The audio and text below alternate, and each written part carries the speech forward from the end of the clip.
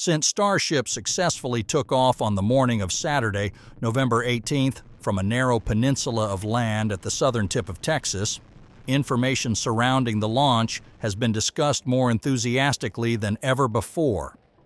In particular, the public is very interested in the reason why the Starship rocket exploded. Meanwhile, the SpaceX team is focused on meticulously analyzing every aspect of this event, figuring out what they can learn to be better on their next flight. In the end, we didn't have to wait long as SpaceX officially explained about the second Starship launch explosion. Discuss everything about this in today's episode of Tech Map. But before we begin, our team extends a warm welcome. Don't forget to subscribe to the channel and enable notifications to stay up to date with the latest news from SpaceX and the world of space.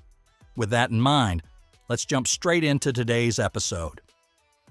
Nearly seven months ago, Starship's first test flight ended in an unexpected scenario called a rock tornado. However, in the November flight, everything has been changed significantly according to the updates about the second Starship's launch on SpaceX's website. All 33 Raptor engines on the Super Heavy booster started up successfully and, for the first time, completed a full duration burn during ascent. This paved the way for the main engine cutoff and subsequent successful hot stage separation. During the separation, all Raptor of Super Heavy's Raptor engines were powered down but three. Later, the six-second stage Raptor engines were ignited successfully before separating the vehicles. This was the first time this technique had been done successfully with a vehicle of this size. Following the separation, with the support of six engines, the vehicle reached an altitude of roughly 150 kilometers and a velocity of approximately 24,000 kilometers per hour becoming the first Starship to reach outer space and nearly completing its full-duration burn. The water-cooled flame deflector and other pad upgrades performed as expected, requiring minimal post-launch work to be ready for upcoming vehicle tests and the next integrated flight test.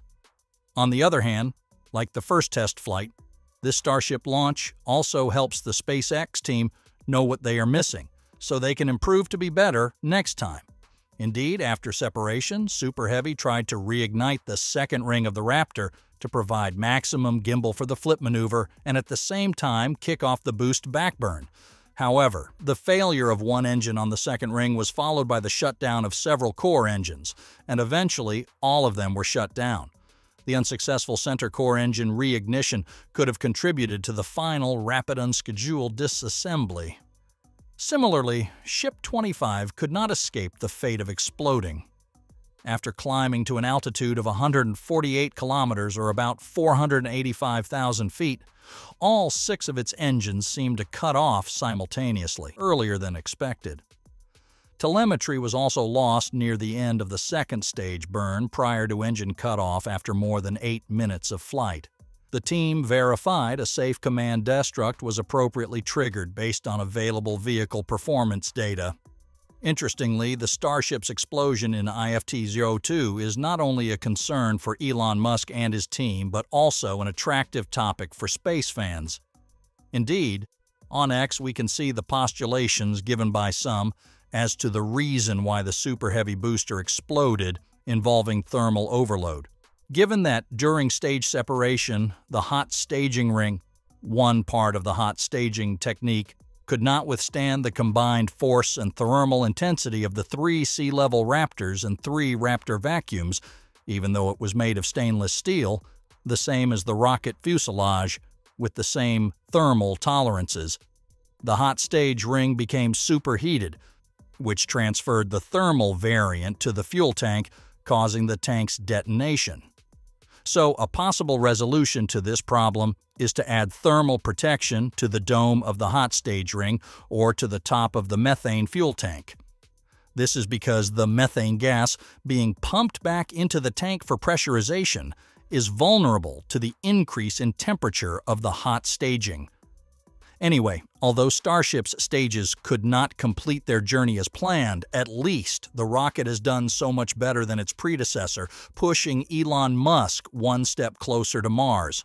Of course, to do that, the SpaceX team had to collect and analyze the errors that led to the explosion in IFT-01, thereby making many changes to both Starship and its ground systems.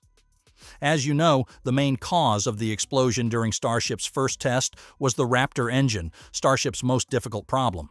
At that time, some engines were observed to fail to fire and others to stop while operating mid-flight. This prevented Starship from performing main engine cutoff and stage separation. This is caused by many reasons. Firstly, the manifold system was found to be vulnerable to the extreme temperature and pressure conditions of spaceflight. This system is responsible for distributing fuel to the engine. So when there is a crack in it, fuel will leak and reduce engine performance. Secondly, the fuel pump system, which is essential for delivering fuel to the engines at the required pressure and flow rate, also met trouble. It prevents necessary fuel from entering the engine, causing it to shut down suddenly during flight. Thirdly, the high temperature conditions experienced during launch and ascent also directly led to material failure, then affected the overall efficiency and performance of the engine system.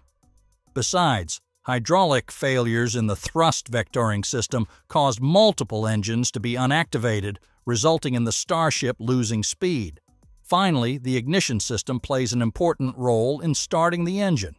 The engine's failure to ignite consistently posed a significant risk to flight stability and safety. In addition, the lack of a flame diverter system caused quite serious damage to the OLM. To overcome those challenges, a series of changes to the whole rocket and its ground-based system were conducted. For the engine, the team redesigned the fuel pump system and the ignition system to make sure it worked more reliably. The manifold system and hot air duct materials were upgraded to be more resistant to heat and pressure. The hydraulic thrust vectoring system has been replaced by the electronic system, helping 33 Raptor engines maintain stable operation and improving the Starship's pace. Another update on the rocket is about the hot staging separation an alternative to the traditional one in which the upper stage's engines begin firing before Starship and Super Heavy have fully separated. This concept isn't new. It has been used on vehicles like the Titan II from NASA's Gemini program in the 1960s and Russia's venerable Soyuz rocket, which is still in operation. The launch pad is also refurbished by adding a water deluge system used to protect the structure against 16.7 million pounds of thrust. Obviously, after going through two actual test flights, SpaceX now has enough knowledge, experience, and confidence to enter the third test flight of Starship. Indeed, we can see that if SpaceX's engineering team was able to significantly improve the reliability of the Starship rocket's engines within a few months, then in the next test flight, the Raptor may not be such a big deal anymore. In a recent tweet, Elon Musk also hinted at this, saying that for his team, engine production is not the limiting factor. He even revealed a more advanced Raptor version that was robust enough not to require a heat shield would also have more thrust, higher ISP, and many other improvements. To be honest, we have no idea whether that next generation version can be ready for the third launch, which is targeted before Christmas. Either way, it signals that perhaps SpaceX has found a way to handle engine problems in IFT-02, so the probability of Starship reaching orbit in IFT-03 will almost absolutely. This is also beneficial for the goal of a powered soft landing of the vehicle that the company sets for the next time, which requires the ability to reignite its engines after re-entry. This leads to the ultimate goal of using Mechazilla's arm to catch the ship. In addition to the engine, SpaceX has also been focusing on improvement and testing on Starship's next prototypes. According to SpaceX's CEO on November 20th, there were three ships in final production in the high bay, including Ship 30, Ship 31, and Ship 32. At the same time, Ship 28, which is selected for IFT-03, has completed most of its crucial installations, with the most notable being its heat shield tiles, which are more robust compared to those on Ship 25 from the recent flight. Its intended companion, Booster 10, has already successfully passed the cryogenic testing at Massey, and at the time I made its report, it is currently in anticipation of a static fire test. And that just about wraps it up for today's episode. Make sure you subscribe to the channel and turn on the notification feature so you don't miss any space important updates. Your support is our driving force to continue delivering high quality content. Thank you, and we look forward to seeing you next time